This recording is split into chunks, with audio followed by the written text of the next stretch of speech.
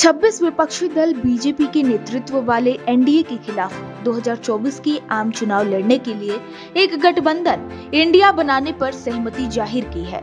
इसमें सात राज्यों के मुख्यमंत्रियों की पार्टियाँ भी हैं। इस समय में संख्या के लिहाज से देखें तो इंडिया गठबंधन के पास लोकसभा में 142 सदस्य हैं, जबकि एनडीए गठबंधन के पास 332 सदस्य हैं।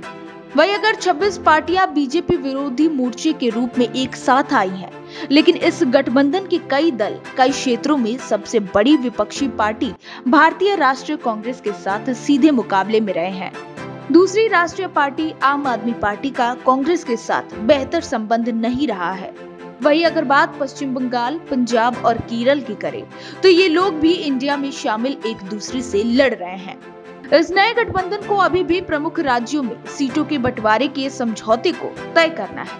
आज के इस रिपोर्ट में हम जानेंगे कि इंडिया में शामिल कौन है 26 वो दल जो बीजेपी की गठबंधन पार्टी एनडीए को टक्कर देंगे।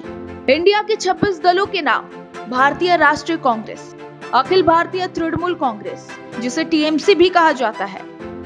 द्रविड़ मुनेत्र कड़गम, डीएमके, आम आदमी पार्टी जनता दल यूनाइटेड, राष्ट्रीय जनता दल राजद, समाजवादी पार्टी सपा।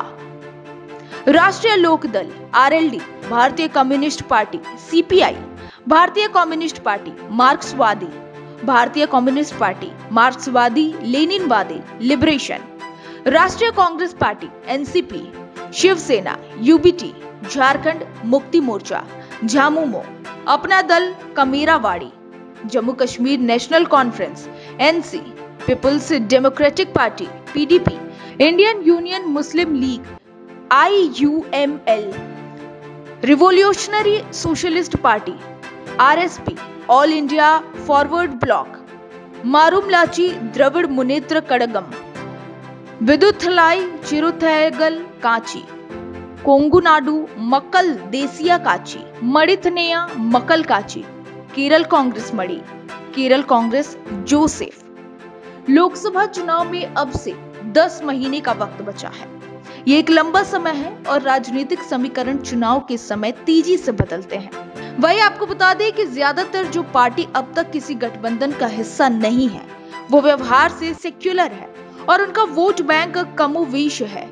जो विपक्ष के गठबंधन का वोट बैंक है ऐसे में अगर वो अकेले चुनावी मैदान में उतरे तो इंडिया गठबंधन को नुकसान पहुँचा सकते हैं। अब तक देखकर ऐसा लग रहा है कि आने वाला चुनाव दो गठबंधनों के बीच लड़ा जाएगा। एक गठबंधन सेक्युलर होगा तो दूसरा हिंदुवादी छवि वाला होगा।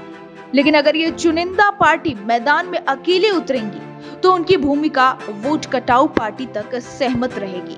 वैसे आपकी क्या राय है? 2024 लोकसभा चुनाव को लेकर के हमें कमेंट करके ज़रूर बताएँ।